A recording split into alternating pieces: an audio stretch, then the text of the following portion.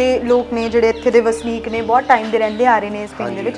ਤਾਂ ਉਹ ਦਾਵਾ ਕਰਦੇ ਨੇ ਕਿ ਇੱਥੇ ਦਾ ਹੀ ਕਾਜ਼ੀ ਸੀਗਾ ਅ, ਜਿਸਨੇ ਫਤਵਾ ਪੜ੍ਹ ਕੇ ਸੁਣਾਇਆ ਸੀ। ਜਦੋਂ ਬਾਬਾ ਜੋਰਾਵਰ ਸਿੰਘ ਫਤਿਹ ਸਿੰਘ ਜੀ ਮਾਤਾ ਗੁਜਰ ਕੋਲ ਫਤਿਹ ਫਤਵਾ ਸੁਣਾਇਆ ਵੀ ਉਹ ਦੱਸਦੇ ਆ ਕੁਝ ਇਤਿਹਾਸਕਾਰ ਵੀ ਇੱਥੋਂ ਮਤਲਬ ਉਹ ਕਾਜੀ ਸੀ ਜਿਹੜਾ ਇਸ ਮਸਜਿਦ ਦਾ ਕਾਜੀ ਸੀ।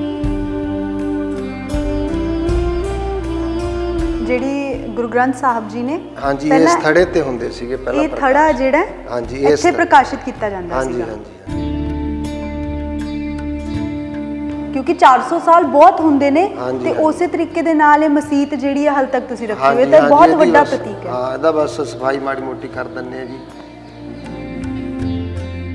ਇਹ ਜਿਹੜੀ ਤੁਸੀਂ ਦੇਖ ਰਹੇ ਹੈ ਨਾ ਹਾਂਜੀ। ਇਹ ਇਹ ਸੁਰੰਗ ਹੈ ਜੀ ਉਹ। ਅੱਛਾ। ਵੀ 400 ਸਾਲ ਪੁਰਾਣੀ ਹੈ।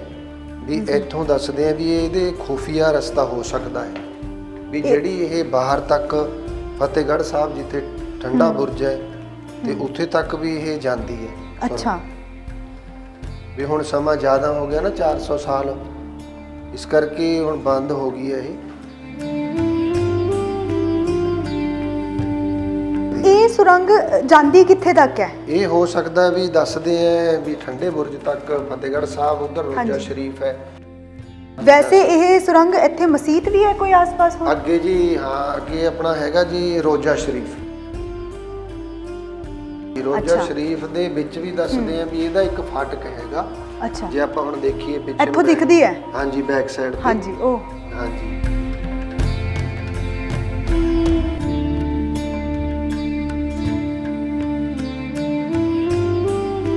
ਇਸ ਜਗ੍ਹਾ ਤੇ ਇੱਕ ਪਾਸੇ ਤੁਸੀਂ ਦੇਖ ਰਹੇ ਆ ਵੀ ਅ, ਜੁਮਾ ਮਸਜਿਦ ਹੈ। ਜਿਹਨੂੰ ਜੁਮਾ ਮਸਜਿਦ ਦੇ ਨਾਲ ਜਾਣਿਆ ਜਾਂਦਾ। ਇੱਕ ਪਾਸੇ ਗੁਰਦੁਆਰਾ ਸਾਹਿਬ ਦੀ ਬਿਲਡਿੰਗ ਹੈ।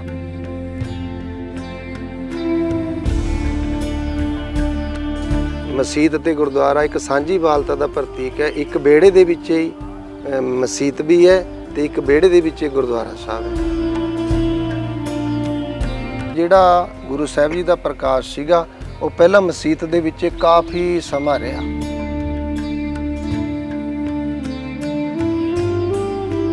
ਇੱਥੇ ਵੈਸੇ ਮੈਂ ਦੇਖ ਰਹੀ ਹਾਂ ਕੁਝ ਲਿਖਿਆ ਵੀ ਹੋਇਆ ਉਰੇ ਮੈਨੂੰ ਪਰ ਉਹ ਪੂਰੀ ਤਰੀਕੇ ਨਾਲ ਪੜਿਆ ਨਹੀਂ ਜਾ ਰਿਹਾ। ਸ਼ਾਇਦ ਬਹੁਤ ਪੁਰਾਣਾ ਹੋਣ ਕਰਕੇ ਨਹੀਂ ਪੜਿਆ ਪੁਰਾਣੀ ਕਿਉਂਕਿ 400 ਸਾਲ ਹੋ ਗਿਆ ਨਾ ਫਿਰ ਇਹਦਾ ਮਿਟ ਜਾਂਦਾ ਹੈ।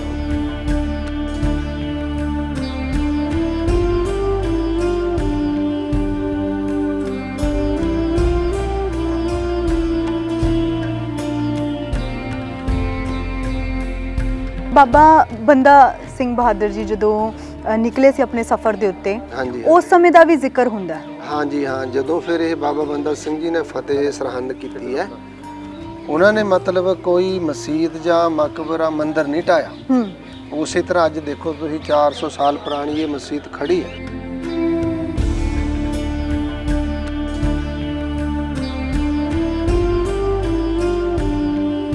ਉਹਨਾਂ ਦਾ ਜਿਹੜਾ ਜੁਰਮ ਨਾਲ ਟੱਕਰਾ ਸੀ।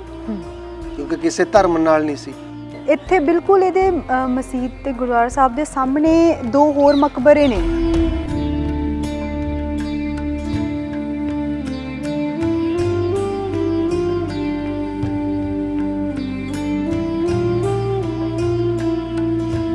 ਡੇਲੀ ਪੋਸਟ ਪੰਜਾਬੀ ਦੇਖ ਰਹੇ ਹੋ ਤੁਸੀਂ ਤੇ ਮੈਂ ਹਾਂ ਸ਼ਿਖਾ ਸੰਧੀ ਫਤਿਹਗੜ੍ਹ ਸਾਹਿਬ ਦੀ ਧਰਤੀ ਅਜਿਹੀ ਪਾਵਨ ਧਰਤੀ ਹੈ ਜਿੱਥੇ ਬਹੁਤ ਵੱਡਾ ਇਤਿਹਾਸ ਜੁੜਿਆ ਹੋਇਆ ਹੈ। ਵੱਖ-ਵੱਖ ਥਾਵਾਂ ਤੇ ਵੱਖ-ਵੱਖ ਪਿੰਡਾਂ ਦਾ ਆਪਣਾ ਹੀ ਇਤਿਹਾਸ ਹੈ। ਜਿਹੜੇ ਸਥਾਨ ਤੇ ਅੱਜ ਮੈਂ ਖੜੀ ਆ ਇਸ ਦਾ ਵੀ ਆਪਣਾ ਹੀ ਇੱਕ ਵੱਖਰਾ ਇਤਿਹਾਸ ਹੈ। ਦੋ ਬਿਲਡਿੰਗਸ ਤੁਹਾਨੂੰ ਵੱਖ-ਵੱਖ ਦਿਖ ਰਹੀਆਂ ਹੋਣਗੀਆਂ, ਇੱਕ ਜਗ੍ਹਾ ਮਸਜਿਦ ਹੈ ਤੇ ਇੱਕ ਜਗ੍ਹਾ ਗੁਰਦੁਆਰਾ ਸਾਹਿਬ ਹੈ। ਆਖਿਰਕਾਰ ਕੀ ਹੈ ਇਸ ਦਾ ਇਤਿਹਾਸ 400 ਸਾਲ ਪੁਰਾਣੀ ਮਸਜਿਦ ਦੇ ਨਾਲ-ਨਾਲ ਗੁਰਦੁਆਰਾ ਸਾਹਿਬ ਵੀ ਸੁਸ਼ੋਭਿਤ ਨੇ। ਪੂਰਾ ਇਤਿਹਾਸ ਜਾਣਨ ਦੇ ਲਈ ਇੱਥੇ ਦੇ ਸੇਵਾਦਾਰ ਬਾਬਾ ਜੀਤ ਸਿੰਘ ਦਾ ਪਹਿਲਾਂ ਤਾਂ ਸਵਾਗਤ ਕਰ ਲੈਂਦੇ ਆ ਵਾਹਿਗੁਰੂ ਜੀ ਕਾ ਖਾਲਸਾ ਵਾਹਿਗੁਰੂ ਜੀ ਕੀ ਫਤਿਹ ਬਾਬਾ ਜੀ ਜਿੱਦਾਂ ਮੈਂ ਦੱਸਿਆ ਹੁਣੀ ਦਰਸ਼ਕਾਂ ਨੂੰ ਕਿ ਫਤਿਹਗੜ੍ਹ ਸਾਹਿਬ ਦੀ ਵੈਸੇ ਤਾਂ ਜਿਹੜੀ ਧਰਤੀ ਹੈ ਗੁਰੂ ਸਾਹਿਬ ਵੀ ਉਰੇ ਆਏ। ਤੇ ਹਰੇਕ ਜਗ੍ਹਾ ਦਾ ਆਪਣਾ ਆਪਣਾ ਵੱਖਰਾ ਵੱਖਰਾ ਇਤਿਹਾਸ ਹੈ। ਤੇ ਅੱਜ ਜਿਹੜੀ ਸਥਾਨ ਤੇ ਆਪਾਂ ਖੜੇ ਆ ਇਹਦਾ ਇਤਿਹਾਸ ਵੀ 400 ਸਾਲ ਪੁਰਾਣਾ ਹੈ। ਇਹ ਮਤਲਬ ਜਿਸ ਸਥਾਨ ਤੇ ਆਪਾਂ ਖੜੇ ਆ ਇਹਨੂੰ ਕਿਸੇ ਸਮੇਂ ਚਿੱਟੀ ਮਸਜਿਦ ਗੁਰਦੁਆਰਾ ਦੇ ਨਾਲ ਵੀ ਜਾਣਿਆ ਜਾਂਦਾ ਸੀ। ਪਰ ਅੱਜ ਜਿਹੜਾ ਇਸ ਦਾ ਨਾਮ ਹੈ ਗੁਰਦੁਆਰਾ ਮਸਤਗੜ੍ਹ ਸਾਹਿਬ। ਇਸ ਜਗ੍ਹਾ ਤੇ ਇੱਕ ਪਾਸੇ ਤੁਸੀਂ ਦੇਖ ਰਹੇ ਆ ਵੀ ਜੁਮਾ ਮਸਜਿਦ ਹੈ। ਜਿਹਨੂੰ ਜੁਮਾ ਮਸਜਿਦ ਦੇ ਨਾਲ ਜਾਣਿਆ ਜਾਂਦਾ। ਇੱਕ ਪਾਸੇ ਗੁਰਦੁਆਰਾ ਸਾਹਿਬ ਦੀ ਬਿਲਡਿੰਗ ਹੈ। ਇਹ ਦੋਨੇ ਮਸਜਿਦ ਤੇ ਗੁਰਦੁਆਰਾ ਇੱਕ ਸਾਂਝੀ ਬਾਲਤਾ ਦਾ ਪ੍ਰਤੀਕ ਹੈ ਇੱਕ ਬੇੜੇ ਦੇ ਵਿੱਚ ਹੀ ਮਸਜਿਦ ਵੀ ਹੈ ਤੇ ਇੱਕ ਬੇੜੇ ਦੇ ਵਿੱਚ ਗੁਰਦੁਆਰਾ ਸਾਹਿਬ ਹੈ। ਇਸ ਕਰਕੇ ਇੱਥੋਂ ਆਪਾਂ ਨੂੰ ਸੰਦੇਸ਼ ਮਿਲਦਾ ਹੈ ਕਿ ਇਹ ਸਾਂਝੀ ਬਾਲਤਾ ਦਾ ਪ੍ਰਤੀਕ ਹੈ। ਜੀ। ਇਹ- ਇਸ ਗੁਰਦੁਆਰਾ ਸਾਹਿਬ ਦੀ ਜੇ ਮੈਂ ਗੱਲ ਕਰਦੀ ਆ ਤਾਂ ਕਦੋਂ ਤੋਂ ਜਿਹੜਾ ਇੱਥੇ ਖੋਜ ਕਰਤੀ ਆਈ ਜਾਂ ਫਿਰ ਕੋਈ ਆਏ ਕਦੋਂ ਤੋਂ ਇਹ ਸੁਸ਼ੋਭਿਤ ਹੈ ਉਰੇ? ਇਹ 400 ਸਾਲ ਪੁਰਾਣੀ ਹੈਗੀ ਹੈ ਜੀ ਜਗ੍ਹਾ। ਤੇ ਜਿਹੜਾ ਬਿਲਡਿੰਗ ਹੁਣ ਨਵੀਂ ਗੁਰਦੁਆਰਾ ਸਾਹਿਬ ਦੀ ਬਣੀ ਹੋਈ ਹੈ ਇੱਕ ਸਾਈਡ ਤੇ ਇਹ 10 ਕੁ ਸਾਲਾਂ ਤੋਂ ਬਣੀ ਹੈ ਸੰਗਤ ਦੇ ਸਹਿਯੋਗ ਦੇ ਨਾਲ ਕਿਉਂਕਿ ਜਿਹੜਾ ਗੁਰੂ ਸਾਹਿਬ ਜੀ ਦਾ ਪ੍ਰਕਾਸ਼ ਸੀਗਾ ਉਹ ਪਹਿਲਾਂ ਮਸਜਿਦ ਦੇ ਵਿੱਚ ਕਾਫੀ ਸਮਾਂ ਰਿਹਾ। ਆਪਾਂ ਮਸਜਿਦ ਦੇਖ ਸਕਦੇ ਹਾਂ? ਹਾਂਜੀ ਹਾਂਜੀ। ਅੱਛਾ ਜਿਹੜੀ ਇਹ ਮਸਜਿਦ ਹੈ ਇਹ 400 ਸਾਲ ਪੁਰਾਣੀ ਉਂਝ ਹੈਗੀ ਹੈ। ਹਾਂਜੀ। ਤੇ ਉਰੇ ਤੇ ਇੱਥੇ ਦੀ ਜਿਹੜੀ ਰਾਖੀ ਵਗੈਰਾ ਜਾਂ ਇੱਥੇ ਦੀ ਦੇਖ ਰੇਖ ਹੈ ਉਹ ਕੌਣ ਕਰਦਾ ਹੈ? ਇਹ ਜੀ ਕਾਫੀ ਸਮੇਂ ਤੋਂ ਦਾਸ ਨੂੰ ਇਹ ਸੇਵਾ ਮਿਲੀ ਹੋਈ ਹੈ।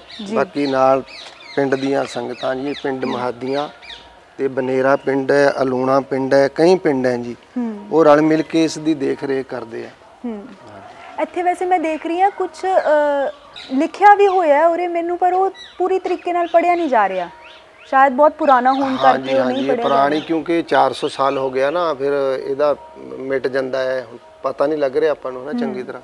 ਹੂੰ ਠੀਕ ਹੈ। ਵੈਸੇ ਕਹਿੰਦੇ ਨੇ ਕਿ ਉਰੇ ਮਤਲਬ ਹਲੇ ਤਾਂ ਉਹ ਖੋਜ ਦਾ ਇੱਕ ਵਿਸ਼ਾ ਜ਼ਰੂਰ ਹੈ। ਪਰ ਬਹੁਤ ਲੋਕ ਇਹ ਦਾਵਾ ਕਰਦੇ ਨੇ ਉਰੇ ਦੇ ਲੋਕ ਨੇ ਜਿਹੜੇ ਇੱਥੇ ਦੇ ਵਸਨੀਕ ਨੇ ਬਹੁਤ ਟਾਈਮ ਦੇ ਰਹਿੰਦੇ ਆ ਰਹੇ ਨੇ ਇਸ ਪਿੰਡ ਦੇ ਵਿੱਚ। ਤਾਂ ਉਹ ਦਾਵਾ ਕਰਦੇ ਨੇ ਕਿ ਇੱਥੇ ਦਾ ਹੀ ਕਾਜ਼ੀ ਸੀਗਾ ਅ, ਜਿਸਨੇ ਫਤਵਾ ਪੜ੍ਹ ਕੇ ਸੁਣਾਇਆ ਸੀ। ਹਾਂ ਕੁਝ ਲੋਕ ਕਹਿ ਰਹੇ ਹੈਗੇ ਵੀ ਜਿਹੜੀ ਇਹ ਮਸਜਿਦ ਹੈ ਜਦੋਂ ਬਾਬਾ ਜੋਰਾਵਰ ਸਿੰਘ ਫਤਿਹ ਸਿੰਘ ਜੀ ਨੂੰ ਮਾਤਾ ਗੁਜਰ ਕੋਲ ਫਤਿਹ ਫਤਵਾ ਸੁਣਾਇਆ ਵੀ ਉਹ ਦੱਸਦੇ ਆ ਕੁਝ ਕੁ ਇਤਿਹਾਸਕਾਰ। ਵੀ ਇੱਥੋਂ ਮਤਲਬ ਉਹ ਕਾਜੀ ਸੀ ਜਿਹੜਾ ਇਸ ਮਸਜਿਦ ਦਾ ਕਾਜੀ ਸੀ। ਇਸ ਮਸਜਿਦ ਦਾ ਕਾਜ਼ੀ ਸੀ। ਉਸ ਤੋਂ ਬਾਅਦ ਦਾ ਮੈਨੂੰ ਦੱਸ ਸਕਦੇ ਹੋ ਕਿ ਉਸ ਤੋਂ ਬਾਅਦ ਜੇ ਮੰਨਦੇ ਨੇ ਕਿ ਉਰੇ ਦਾ ਕਾਜ਼ੀ ਸੀਗਾ ਉਹ ਕੌਣ ਲੋਕ ਨੇ ਜੋ ਇਹ ਦਾਵਾ ਕਰਦੇ ਨੇ? ਇਹ ਜਿਸ ਤਰ੍ਹਾਂ ਹੁਣ ਸੰਤ ਹਰੀ ਸਿੰਘ ਰੰਧਾਵੇ ਵਾਲੇ ਹੂੰ। ਉਹਨਾਂ ਨੇ ਕਿਹਾ ਸੀਗਾ ਪਿੱਛੇ ਜੇ ਬਣਾ ਕੇ ਲੈ ਗਏ ਸੀਗੇ ਮੂਵੀ। ਤੇ ਉਹ ਦੱਸਦੇ ਆ ਵੀ ਮਸਜਿਦ ਦਾ ਜਿਹੜਾ ਕਾਜੀ ਸੀ ਜਿਹਨੇ ਫਤਵਾ ਜਾਰੀ ਕਰਿਆ ਵੀ ਇਹ ਮਸਜਿਦ ਤੋਂ ਫਤਵਾ ਜਾਰੀ ਹੋਇਆ। ਅੱਛਾ। ਹਾਂਜੀ। ਠੀਕ ਹੈ ਇੱਕ ਵਾਰੀ ਆਪਾਂ ਦੇਖ ਲੈਂਦੇ ਹਾਂ।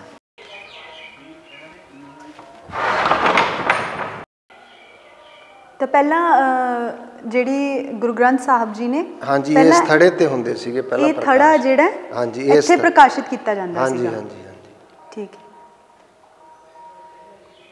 ਬਿਲਕੁਲ ਪੁਰਾਣੀ ਹੀ ਉਸ ਢੰਗ ਦੇ ਨਾਲ ਰੱਖੀ ਹੋਈ ਹੈ ਨਾ। ਤੁਸੀਂ ਮਤਲਬ ਜਿੱਦਾਂ ਦੀ ਸੀਗੀ ਮੈਨੂੰ ਲੱਗਦਾ ਹੈ। ਹਾਂਜੀ ਹਾਂਜੀ ਹਨਾ? ਬਿਲਕੁਲ ਉਸੇ। ਤਰੀਕੇ ਦੇ ਨਾਲ। ਹਾਂਜੀ। ਕਿਉਂਕਿ 400 ਸਾਲ ਬਹੁਤ ਹੁੰਦੇ ਨੇ ਤੇ। ਉਸੇ ਤਰੀਕੇ ਦੇ ਨਾਲ ਇਹ ਮਸਜਿਦ ਜਿਹੜੀ ਹੈ ਹਾਲ ਤੱਕ ਤੁਸੀਂ ਰੱਖੀ ਹੋਈ ਹੈ। ਤਾਂ ਬਹੁਤ ਵੱਡਾ ਪ੍ਰਤੀਕ ਹੈ। ਹਾਂ ਇਹਦਾ ਬਸ ਸਫ਼ਾਈ ਮਾੜੀ ਮੋਟੀ ਕਰ ਦਿੰਨੇ ਆ ਜੀ।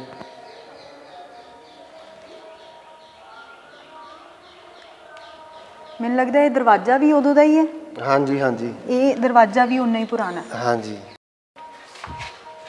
ਤਾਂ ਜਿਹੜੇ ਲੋਕ ਉਰੇ ਦੇ ਆਸ-ਪਾਸ ਲੋਕ ਨੇ ਕਿਉਂਕਿ ਬਹੁਤ ਘੱਟ ਲੋਕਾਂ ਨੂੰ ਪਤਾ ਹੈ ਕਿ ਇਹ ਜਗ੍ਹਾ ਵੀ ਉਰੇ ਹੈਗੀ ਹੈ ਕਿ ਜਿੱਥੇ ਗੁਰਦੁਆਰਾ ਸਾਹਿਬ ਵੀ ਨਾਲ ਹੈ ਤੇ ਨਾਲ ਨਾਲ ਮਸਜਿਦ ਵੀ ਜਿਹੜੀ ਹੈਗੀ ਹੈ। ਤਾਂ ਬਾਬਾ ਜੀ ਉਰੇ ਕੋਈ ਸੰਤ ਮਹਾਤਮਾ ਜੀ ਵੀ ਆਏ ਸੀ? ਕਿਉਂਕਿ ਇਸ ਤੋਂ ਪਹਿਲਾਂ ਪੂਰਾ ਬਿਆਬਾਨ ਸੀਗਾ ਪੂਰਾ ਜੰਗਲ ਸੀਗਾ ਉਰੇ। ਹਾਂਜੀ ਹਾਂਜੀ। ਫਿਰ ਇਹ 20ਵੀਂ ਸਦੀ ਦੇ ਵਿੱਚ ਬਾਬਾ ਅਰਜਨ ਸਿੰਘ ਸੋਢੀ ਨਾਮ ਦੇ ਸੰਤ ਹੋਏ ਤੇ ਇੱਕ ਬਾਬਾ ਅਤਰ ਸਿੰਘ ਜੀ। ਉਹਨਾਂ ਨੇ ਫਿਰ ਇਸ ਮਸਜਿਦ ਦੇ ਵਿੱਚ 101 ਖੰਡ ਪਾਠ ਸਾਹਿਬ ਦੀ ਲੜੀ ਆਰੰਭ ਕਰਵਾ ਕੇ ਮਹਾਰਾਜ ਦਾ ਪ੍ਰਕਾਸ਼ ਕਰਾਤਾ ਸੀਗਾ। ਫਿਰ ਕਾਫੀ ਸਮਾਂ ਉਸੇ ਤਰ੍ਹਾਂ ਮਹਾਰਾਜ ਦਾ ਪ੍ਰਕਾਸ਼ ਰਿਹਾ ਸੇਵਾ ਸਿਮਰਨ ਹੁੰਦੀ ਰਹੀ। ਹੂੰ। ਹੁਣ ਫਿਰ ਥੋੜੀ ਜਿਹੀ ਇਹਦੀ ਜਿਹੜੀ ਹਾਲਤ ਸੀ ਖਸਤ ਹੋ ਗਈ ਸੀਗੀ। ਹੂੰ। ਇਹ ਫਿਰ ਇਸ ਕਰਕੇ ਹੁਣ ਦੁਬਾਰਾ ਇੱਧਰ ਬਿਲਡਿੰਗ ਨਵੀਂ ਬਣਾਈ ਹੈ। ਹੂੰ। ਤੇ ਕਾਫੀ ਸਮਾਂ ਮਹਾਰਾਜ ਦਾ ਪ੍ਰਕਾਸ਼ ਇਹਦੇ 'ਚ ਹੀ ਰਿਹਾ। ਬਾਬਾ ਜੀ ਇਤਿਹਾਸਕਾਰ ਇਹ ਵੀ ਕਹਿੰਦੇ ਆ ਵੀ ਉਰੇ ਇੱਕ ਸੁਰੰਗ ਵੀ ਹੈ। ਉਹ ਵੀ 400 ਸਾਲ ਪੁਰਾਣੀ ਹੋਣੀ ਹਾਂਜੀ ਹਾਂਜੀ। ਆ ਜਿਹੜੀ ਤੁਸੀਂ ਦੇਖ ਰਹੇ ਹੈ ਨਾ ਹਾਂਜੀ। ਇਹ ਇਹ ਸੁਰੰਗ ਹੈ ਜੀ ਉਹ। ਅੱਛਾ। ਵੀ 400 ਸਾਲ ਪੁਰਾਣੀ ਹੈ। ਵੀ ਇੱਥੋਂ ਦੱਸਦੇ ਆ ਵੀ ਇਹਦੇ ਖੂਫੀਆ ਰਸਤਾ ਹੋ ਸਕਦਾ ਹੈ। ਵੀ ਜਿਹੜੀ ਇਹ ਬਾਹਰ ਤੱਕ ਫਤਿਹਗੜ੍ਹ ਸਾਹਿਬ ਜਿੱਥੇ ਠੰਡਾ ਬੁਰਜ ਹੈ ਤੇ ਉੱਥੇ ਤੱਕ ਵੀ ਇਹ ਜਾਂਦੀ ਹੈ। ਅੱਛਾ। ਵੀ ਹੁਣ ਸਮਾਂ ਜ਼ਿਆਦਾ ਹੋ ਗਿਆ ਨਾ 400 ਸਾਲ। ਇਸ ਕਰਕੇ ਹੁਣ ਬੰਦ ਹੋ ਗਈ ਹੈ ਇਹ। ਪਰ ਇਹ ਸੁਰੰਗ ਉਸੇ ਵੇਲੇ ਦੀ ਹੈ। ਹਾਂ ਇਹ ਉਸੇ ਵੇਲੇ ਦੀ ਹੈ। ਇਹ ਸੁਰੰਗ ਜਾਂਦੀ ਕਿੱਥੇ ਤੱਕ ਹੈ? ਇਹ ਹੋ ਸਕਦਾ ਵੀ ਦੱਸਦੇ ਆ ਵੀ ਠੰਡੇ ਬੁਰਜ ਤੱਕ ਫਤਿਹਗੜ੍ਹ ਸਾਹਿਬ ਉਧਰ ਰੋਜਾ। ਸ਼ਰੀਫ ਹੈ। ਇਹਦਾ ਇੱਕ ਫਾਟਕ ਉਧਰ ਵੀ ਹੈਗਾ। ਠੰਡਾ ਬੁਰਜ ਤੱਕ ਵੀ ਇਹ ਜਾਂਦੀ ਹੈ। ਵੈਸੇ ਇਹ ਸੁਰੰਗ ਇੱਥੇ ਮਸਜਿਦ ਵੀ ਹੈ ਕੋਈ ਆਸ-ਪਾਸ ਹੁਣ ਅੱਗੇ ਜੀ ਹਾਂ ਅੱਗੇ ਆਪਣਾ ਹੈਗਾ ਜੀ ਰੋਜ਼ਾ ਸ਼ਰੀਫ। ਰੋਜ਼ਾ ਸ਼ਰੀਫ। ਹਾਂਜੀ ਰੋਜ਼ਾ। ਸ਼ਰੀਫ ਦੇ ਵਿੱਚ ਵੀ ਦੱਸਦੇ ਆ ਵੀ ਇਹਦਾ ਇੱਕ ਫਾਟਕ ਹੈਗਾ। ਅੱਛਾ। ਜੇ ਆਪਾਂ ਹੁਣ ਦੇਖੀਏ ਪਿੱਛੇ ਇੱਥੋਂ ਦਿਖਦੀ ਹੈ? ਹਾਂਜੀ ਬੈਕ ਸਾਈਡ ਤੇ। ਹਾਂਜੀ ਉਹ। ਹਾਂਜੀ ਉਹ ਫਿਰ ਇੱਥੋਂ ਚਿੰਨ ਲੱਗਦਾ ਵੀ ਉੱਥੇ ਹੋ ਸਕਦਾ। ਵੀ ਇੱਥੋਂ ਦੀ ਉੱਥੇ ਤੱਕ ਜਾਂਦੀ ਹੋ ਉੱਥੇ ਤੱਕ ਜਾਂਦੇ ਆ ਕਿਉਂਕਿ। ਸਮਾਂ ਜ਼ਿਆਦਾ ਹੋ ਗਿਆ ਤੇ ਹੋ ਸਕਦੀ ਹੈ ਉਹ ਸੁਰੰਗ ਹੁਣ ਤਾਂ ਕਿਉਂਕਿ ਬੰਦ ਹੀ ਹੋ ਗਈ। ਹਾਂਜੀ ਹਾਂਜੀ ਕਿਉਂਕਿ 400 ਸਾਲ 400 ਸਾਲ ਹੋ ਗਏ ਨਾ ਦਬ ਦਬ ਕੇ ਇਹ ਫਿਰ ਬੰਦ ਵੀ ਹੋ ਸਕਦੀ ਹੈ। ਹੂੰ।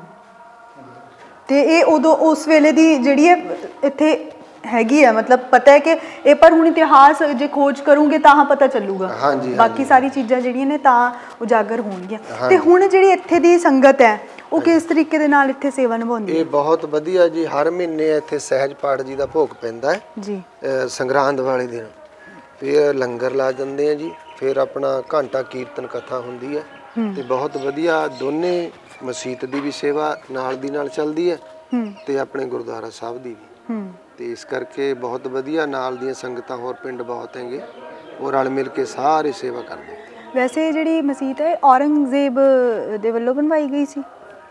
ਹੋ ਸਕਦਾ ਕਿਉਂਕਿ ਉਹ- ਉਹਨਾਂ ਦੇ ਸਮੇਂ ਸੀ ਸੀ ਨਾ ਮਸਤ ਜਿਹੜੀਆਂ ਮਸਜਿਦਾਂ ਸੀ ਮਕਬਰੇ ਸੀ ਉਦੋਂ ਫਿਰ ਉਹਨਾਂ ਦੇ ਸਮੇਂ ਸੀ ਗੁਰਦੁਆਰੇ ਤਾਂ ਉਦੋਂ ਹੁੰਦੇ ਨਹੀਂ ਸੀ। ਮਸਜਿਦਾਂ ਮਕਬਰੇ ਹੁੰਦੇ ਸੀ। ਜੀ ਜਦੋਂ ਬਾਬਾ ਬੰਦਾ ਸਿੰਘ ਬਹਾਦਰ ਜੀ ਜਦੋਂ ਨਿਕਲੇ ਸੀ ਆਪਣੇ ਸਫ਼ਰ ਦੇ ਉੱਤੇ ਉਸ ਸਮੇਂ ਦਾ ਵੀ ਜ਼ਿਕਰ ਹੁੰਦਾ। ਹਾਂਜੀ ਹਾਂ ਜਦੋਂ ਫਿਰ ਇਹ ਬਾਬਾ ਬੰਦਾ ਸਿੰਘ ਜੀ ਨੇ ਫਤਿਹ ਸਰਹੰਦ ਕੀਤੀ ਹੈ ਉਹਨਾਂ ਨੇ ਮਤਲਬ ਕੋਈ ਮਸਜਿਦ ਜਾਂ ਮਕਬਰਾ ਮੰਦਿਰ ਨਹੀਂ ਢਾਇਆ। ਹੂੰ। ਉਸੇ ਤਰ੍ਹਾਂ ਅੱਜ ਦੇਖੋ ਤੁਸੀਂ 400 ਸਾਲ ਪੁਰਾਣੀ ਇਹ ਮਸਜਿਦ ਖੜੀ ਹੈ। ਉਹ ਆਪਣਾ ਸਫ਼ਰ ਕਰਦੇ ਹੋਏ ਇੱਥੋਂ ਵੀ ਲੰਘੇ ਸੀਗੇ ਇੱਥੋਂ ਤੱਕ ਹਾਂਜੀ ਜਿੰਨੀਆਂ ਵੀ ਮਸਜਿਦਾਂ ਉਸ ਸਮੇਂ ਦੀਆਂ ਹੈਗੇ ਆ ਤੇ ਉਹਨਾਂ ਨੇ ਕੋਈ ਮਸਜਿਦ ਨਹੀਂ ਢਾਈ ਕੋਈ ਮੰਦਿਰ ਨਹੀਂ ਉਹਨਾਂ ਦਾ ਜਿਹੜਾ ਜੁਰਮ ਨਾਲ ਟੱਕਰਾ ਸੀ। ਕਿਉਂਕਿ ਕਿਸੇ ਧਰਮ ਨਾਲ ਨਹੀਂ ਸੀ ਵੀ ਆਪਾਂ ਧਰਮ ਨੂੰ ਠੇਸ ਪਹੁੰਚਾਈਏ। ਹਾਂਜੀ ਇਸ ਕਰਕੇ ਉਹਨਾਂ ਨੇ ਕੋਈ ਮੰਦਿਰ ਨਹੀਂ ਢਾਇਆ ਕੋਈ ਮਸਜਿਦ ਨਹੀਂ। ਜ਼ੁਲਮ ਦਾ ਉਹਨਾਂ ਨੇ ਮਤਲਬ ਟੱਕਰਾ ਕੀਤਾ ਵੀ ਜਿਹੜਾ ਜ਼ੁਲਮ ਕਰਦਾ ਸੀ ਉਸ ਨੂੰ ਢਾਇਆ ਉਹਨਾਂ ਨੇ। ਹੂੰ। ਇਸ ਤਰ੍ਹਾਂ ਫਿਰ ਇਹ ਜਿਹੜੀਆਂ ਮਸਜਿਦਾਂ ਮਕਬਰੇ ਅੱਜ ਵੀ ਉਸੇ ਤਰ੍ਹਾਂ ਕਾਇਮ ਖੜੇ ਇੱਥੇ ਬਿਲਕੁਲ ਇਹਦੇ ਮਸਜਿਦ ਤੇ ਗੁਰਦੁਆਰਾ ਸਾਹਿਬ ਦੇ ਸਾਹਮਣੇ ਦੋ ਹੋਰ ਮਕਬਰੇ ਨੇ। ਹਾਂਜੀ ਹਾਂਜੀ। ਉਹ ਮਕਬਰੇ ਦਾ ਕੋਈ ਜ਼ਿਕਰ ਹੈ? ਉਹ ਕਿਸ ਦੇ ਮਕਬਰੇ ਨੇ ਜਾਂ ਕਿਉਂ ਨੇ ਉਹ? ਹੋ ਸਕ ਹੋ ਸਕਦਾ ਹੈ ਵੀ ਉਹ ਦੱਸਦੇ ਆ ਕੋਈ ਉਹਨਾਂ ਦਾ ਰਹਿਬਰ ਹੋਣਾ ਹੈ। ਉਹ ਦੋ ਭਾਈ ਸੀਗੇ ਇਸ ਤਰ੍ਹਾਂ ਬਣਾਏ ਹੋਏ ਉਹਨਾਂ ਦੀ ਯਾਦ ਦੇ ਵਿੱਚ ਬਣਾਏ ਹੋਏ ਦੋ ਮਕਬਰੇ। ਮਤਲਬ ਇਹ ਵੀ ਉਸੇ ਟਾਈਮ ਦੇ ਨੇ ਜਦੋਂ ਦੀ। ਇਹ ਮਸਜਿਦ ਹੈ ਉਸੇ ਟਾਈਮ ਦੇ ਬਣਾਏ ਹੋਏ ਨੇ। ਹਾਂਜੀ ਹਾਂਜੀ ਉਸੇ ਟਾਈਮ ਦੇ। ਫਤਿਹਗੜ੍ਹ ਸਾਹਿਬ ਦੀ ਧਰਤੀ ਤੇ ਐਵੇਂ ਜਿਹਾ ਹੀ ਇਤਿਹਾਸ ਤੁਹਾਨੂੰ ਜੇਕਰ ਤੁਸੀਂ ਖੋਜ ਕਰੋਗੇ, ਤਾਂ ਐਵੇਂ ਬਹੁਤ ਸਾਰਾ ਇਤਿਹਾਸ ਜੋ ਕਿ ਹਲੇ ਰਾਜ਼ ਬਣਿਆ ਹੋਇਆ ਹੈ ਤੇ ਸ਼ਾਇਦ ਹੋ ਸਕਦਾ ਜੇ ਇਤਿਹਾਸਕਾਰ ਜਿਹੜੇ ਨੇ ਜਾਂ ਫਿਰ ਖੋਜੀ ਉਰੇ ਤੱਕ ਆਣ, ਤਾਂ ਇਸ ਇਤਿਹਾਸ ਨੂੰ ਵੀ ਮਾਨਤਾ ਮਿਲ ਸਕਦੀ ਹੈ। ਕੈਮਰਾਮੈਨ ਹਰਦੀਪ ਦੇ ਨਾਲ ਮੈਂ ਸ਼ਿਖਾ ਸੰਧੀਰ ਡੇਲੀ ਪੋਸਟ ਪੰਜਾਬੀ।